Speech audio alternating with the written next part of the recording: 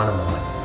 கந்த சஷ்டி விரதம் ஏழு நாள்லையுமே வீட்டில் செய்ய வேண்டிய ஒரு சூட்சமத்தை இப்போ நான் உங்களுக்காக பகிர்ந்து கொள்றேன் ஸோ ஃபஸ்ட்டு விஷயம் முருகனுக்கு விரதம் இருக்கணும்னு முடிவு பண்ணதுக்கு அப்புறம் நீங்க ஒரு காப்பு கட்டி நான் ஏழு நாளும் விரதம் இருக்க போறேன். என்னோட உடலை மனதை வழிநடத்தி தாருங்கள் முருகா என்று வேண்டிக் கொள்ளுங்கள்.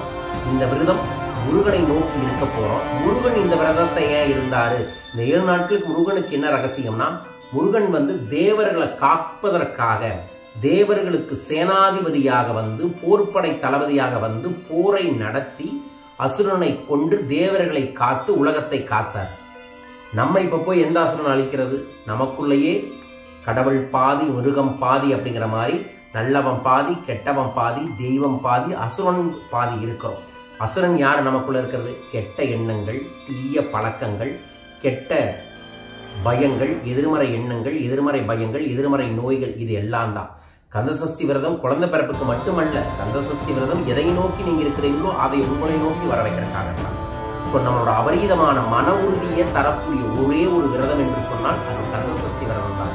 மற்ற விரதங்கள்ல ஒரு நாள் ரெண்டு நாள் இருக்கும் ஒரு நேரம் இருக்கும். ஆனால் ஏழு நாளும் எழுந்து நம்மளோட எனர்ஜியை இறைவனை நோக்கி செலுத்தக்கூடியதுதான் இந்த வழிபாடு. ஸோ முதல் நாள் இன்னைக்கு தொடங்கிருச்சு. இந்த விரதம் ஏழு நாளும் இருக்கலாம் அல்லது கடைசி மூன்று நாட்களும் இருக்கலாம் அல்லது கடைசி ஒரே ஒரு நாளும் கூட இருக்கலாம். இருக்கணும்னு மனசுல இருக்கிறவங்க இதை கடைபிடிங்க நான் சிம்பிளான வழிமுறையை சொல்லித்தரேன். உங்க வீட்டுல ஒரு வாழை இலையை போட்டு பச்சரிசியை பரப்பி ஒரு கும்பத்தை வச்சு எப்பவும் பயன்படுத்தக்கூடிய வாசனை திரவ பொருட்கள் எல்லாமே கும்பத்துல போட்டு அதற்கு மேல ஒரு தேங்காயை மஞ்சள் தேய்ச்சி குங்குமம் வச்சு அதுக்கு மேலே ஓம் அப்படின்னு வச்சுட்டிங்கன்னா அது முருகனுக்கு நம்ம வைக்கக்கூடிய கும்பம்.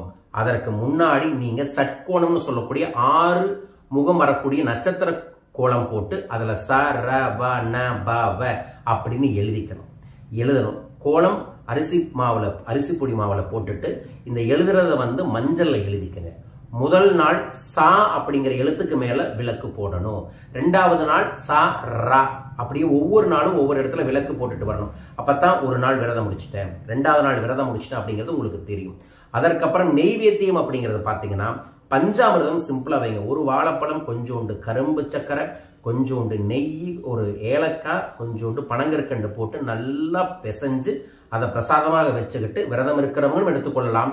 அல்லது உங்கள் வீட்டில் இருக்கிறவங்களுக்கும் இந்த பிரசாதத்தை பகிர்ந்து கொள்ளலாம். இந்த பிரசாதத்தை செய்கிற நேரம்னு கேட்டிங்கன்னா காலையிலும் செய்யலாம் மாலையிலும் செய்யலாம். நான் ரெண்டு நேரமும் செய்யுங்க அப்படிங்கிறதான் இந்த பதிவில் உங்களுக்காக சொல்கிறேன் ஸோ தினமும் சூரியன் உதிக்கும் போது எந்திரித்து விடுங்கள். எந்திரித்து தலைக்கு குளியுங்கள். இந்த ஏழு நாளுமே ஆண்களாக இருந்தாலும் சரி பெண்களாக இருந்தாலும் சரி ஏழு நாளுமே எந்த விதமான சோப்பு ஷாம்பு பயன்படுத்தாதீங்க. ஒன்று ரெண்டாவது ரெகுலராக பயன்படுத்திட்டு இருக்கக்கூடிய வளையல்கள் போடுறது மோதிரங்கள் போடுறதெல்லாம் தவிர்த்து விடுங்கள். மூன்று காலில் செருப்பு போடாதீங்க. நாலு முடிஞ்சளவுக்கு புத்தாடைகளோடையே இருங்க. காவி ஆடையை போடலாம் பச்சை நிற ஆடையை பயன்படுத்தி கொள்ளலாம் சிவப்பு நிற ஆடையையும் நீங்கள் பயன்படுத்தி கொள்ளலாம். அடுத்தது பெண்கள் இந்த ஏழு நாளுமே கண்டிப்பாக மஞ்சள் தேய்த்து குளியுங்கள். சாப்பிட்றது அப்படிங்கிறத ஒரு கேள்வி எல்லாத்துக்குமே வரும். நீராகாரம் தான் எடுத்துக்கணும். நீராகாரம் அப்படிங்கிறது பார்த்தீங்கன்னா எலுமிச்சம்பழம் ஜூஸ் அந்த மாதிரிலாம் எடுக்கலாம். முடிஞ்ச அளவுக்கு வெறும் நீர் மட்டும் எடுத்துட்டு வாருங்கள். ஒவ்வொரு நாளும் மாலையில் என்ன பிரசாதத்தை சாமிக்கு படைக்கிறீங்களோ அந்த பிரசாதத்தை கொஞ்சமாக எடுத்துக்கலாம். பச்சரிசியில் உப்பு போடாமல் தயிர் சாதத்தை முருகனுக்கு படைச்சு அதையே சாப்பிடலாம். அது என்ன பண்ணும்னா நம்ம உடம்புல இருக்கக்கூடிய ப்ரோபயோட்டிக் கூட சொல்லக்கூடிய நோய் எதிர்ப்பாற்றலை அதிகப்படுத்தி உடம்புக்கு தேவையான அத்தனை சக்தியையும் கொடுத்துருவார். அந்த சாதனை அதை மட்டும் எடுத்தா போதும். மற்றபடி ஏழு நாளுமே ஒரு போர்ப்படை தளபதி எப்படி இருப்பாரு? இந்த போர்ல ஜெயிக்குன்னு வெறித்தனமா எல்லாத்தையும் மறந்து குடும்பத்தை மறந்து தன்னோட வேலையை மறந்து இதுல வெ- வெல்லணும் அப்படிங்பார்ல இந்த விரதம் நீங்க அப்படித்தான் இருக்கணும்.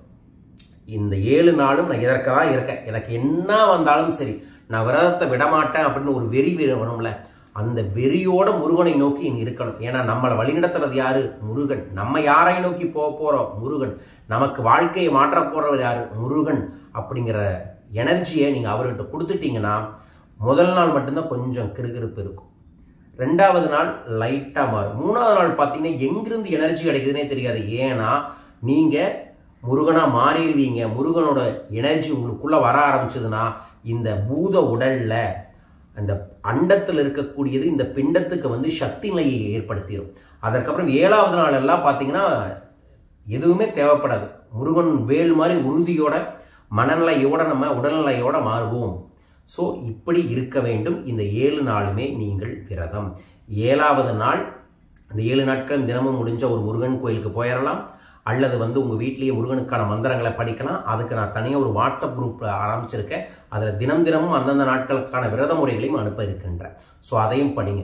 இந்த ஏழு நாளுமே தினமும் எப்படியாவது நான் இப்போ சொல்லக்கூடிய ஒரு மந்திரத்தை நூற்றி எட்டு முறை ஜபம் செய்யுங்க. ரெண்டு மந்திரம் சொல்கிறேன் ஒன்று நான் எப்பவும் சொல்லக்கூடிய அகத்திய பெருமான் மந்திரம். இன்னொன்று செல்வாகர்ஷணத்தை ஏற்படுத்தக்கூடிய மந்திரம். ஓம் ஷவும் ஷரவணபவ. ஓம் ஷவும் ஷரவணபவ. இந்த மந்திரத்தை தினம் தினமும் கண்டிப்பாக நூற்றி எட்டு முறை சொல்லுங்க இருபத்தி ஏழு முறை எழுதுங்க லிகித ஜபமாக. ஒன்று ரெண்டாவது.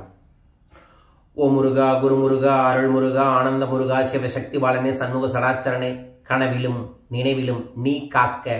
ஓம் ஸ்ரீம் ஐம் வேள் காக்க. ஓ முருகா குருமுருகா அருள் முருகா ஆனந்த முருகா சிவசக்தி பாலனே சண்முக சடாச்சரணே கனவிலும் நினைவிலும் நீ காக்க. ஓம் ஸ்ரீம் ஐம் வேள் காக்க. இந்த மந்திரத்தை தினமும் முடிஞ்சால் நூற்றி எட்டு முறை இல்லை இருபத்தேழு முறை சொல்லுங்க. சொல்ல சொல்ல உங்கள் உடம்புல கிடைக்கக்கூடிய ஒரு சக்தியை வார்த்தைகளால் விவரிக்கவே முடியாது. இது அகத்திய பெருமான் சொல்லியிருக்காரு. இதை சொன்னால் முருகனின் ஆசை கிடைக்கும் முருகன் நம்மளை முருகனோட கடாச்சம் கிடைக்கும் அப்புறம் எல்லாமே கிடைக்கும். ஸோ இதையே கடைபிடியுங்கள். முருகனோட குறியீடு எதுவும் ஒன்று உங்கள் கூட வச்சுக்கோங்க. ஒரு வேல் கண்டிப்பாக வச்சுக்கோங்க. அல்லது இந்த மாதிரி வேல் காப்பு இருந்துச்சுன்னா கையில் இந்த நாட்கள் எல்லாமே போட்டுக்கிறது ரொம்ப ரொம்ப நல்லது. ஓகேங்களா? ஸோ இதுதான் நீங்கள் இந்த ஏழு நாளுமே இருக்கணும். இடையில வந்து முருகன் கோயிலுக்கு போங்க. சத்ருசங்கார யாகங்கள் சில கோயில் தினமுமே பண்ணுவாங்க. அந்த யாகத்தில் போய் உட்காருங்க. நம்ம நவம்பர் ஆறாம் தேதி கோயம்புத்தூர் அக்ஷயம் டிவைன் சென்டரில் சத்ருசம்கார யாகம் பண்ணுறோம் கண்டிப்பாக எல்லாரும் வந்து கலந்துக்கங்க. அதற்கப்புறம் கடைசி நாள் திருக்கல்யாணம் பார்த்துட்டு ஏதோ ஒரு பெரியவங்களுக்கு பிரசா காலில் விழுந்து ஆசீர்வாதம் வாங்கிக்கலாம். குழந்தைக்காக இந்த விரதம் இருக்கிறவங்க செய்ய வேண்டிய ஒரு பரிகாரத்தையும் சொல்லிடுறேன். குழந்தைக்கு கொடுக்கக்கூடிய ஒரு சின்ன சங்கு வந்து கடையில் வாங்கிக்கங்க. ஓகேங்களா? அந்த சங்கு வாங்கி குழந்தைக்கு இருக்கக்கூடிய சின்ன மணி இந்த குழந்தைக்கு விளையாட்டு காமிக்கிற மணி ஒன்று வாங்கிக்கணும். வாங்கிட்டு சின்னதாக ஒரு வேல் சின்ன கம்பி வேலுமா இருக்கும். ஐம்பது ரூபா அறுபது ரூபா தான் சொல்லுவாங்க. அந்த வேல் ஒன்று வாங்கிக்கங்க. இதைய கொண்டு வந்து உங்களோட வீட்டில் வைக்கணும். அதை கடையிலேருந்து வரும்போது உங்களோட மடியில் சேரையோட மடியில் போ கட்டி வீட்டுக்கு கொண்டு வந்து வீட்டில் அதை எல்லாமே வாஷ் பண்ணி உங்கள் பூஜை ரூமில் வச்சு இந்த ஏழு நாட்களுமே முருகன் வந்ததில் பால் சாப்பிடுவார் அப்படின்னு நினச்சிட்டு தினமும் சுத்தமான பால் அதில் ஊற்றி முருகனுக்கு அதையே பிரசாதமாக வைக்கணும். ஏழாவது நாள் கோயிலுக்கு போய் ஏதாவது புது குழந்தைகள் அதாவது பிறந்த குழந்தைகளை கோயிலுக்கு கொண்டு வருவாங்கல்ல அந்த தாய்மார்களுக்கு கொடுத்து எனக்கும் குழந்தை பிறக்கணும்னு அந்த விரதம் இருந்தாங்க என்னை ஆசீர்வாதம் பண்ணுங்க இதெல்லாம் உங்களுக்கு உங்கள் குழந்தைக்கு பால் கொடுங்க அப்படின்னு கொடுத்துடுங்க. செஞ்சு பாருங்க அடுத்த தீபாவளிக்கு உங்களுக்கு குழந்தைய கையில் இருப்பாங்க. முயற்சி பண்ணுங்க நல்லது நடக்கும். இதே இது வியாபாரத்தில் இருக்கிறவங்க செய்யக்கூடிய ஒரு பரிகாரத்தை சொல்கிறேன் அதே மாதிரி ஒரு சின்ன வேல் வாங்கிக்கங்க.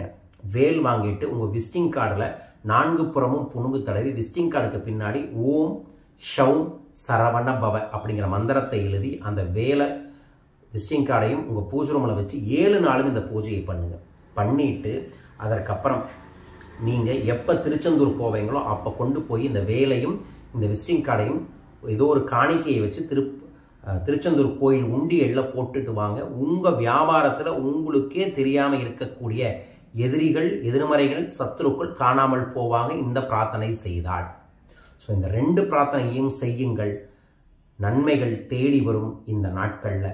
ஸோ நமது அன்பர்களும் நண்பர்களும் இந்த எளிய வழிமுறையில் கடைபிடிங்க முழு விவரங்களை நான் வாட்ஸ்அப்பில் அனுப்புகிறேன் வாய்ப்பு இருக்கிறவங்க அத்தனை பேருமே சேர்ந்துக்கோங்க. ஃப்ரீ தான். அதில் யார் வேணாலும் சேரலாம். கலந்துக்கங்க. ஸோ அனைவருக்குமே இந்த அற்புதமான ஏழு நாட்களும் சத்ரு சம்ஹார மூர்த்தி துணையிருந்து சகல ஐஸ்வர்யங்களையும் தர வேண்டுமென பிரார்த்திக்கின்றேன். முருகாசரணம் முருகாசரணம் முருகாசரணம் கந்தனுக்கு அரோஹர அரோஹர.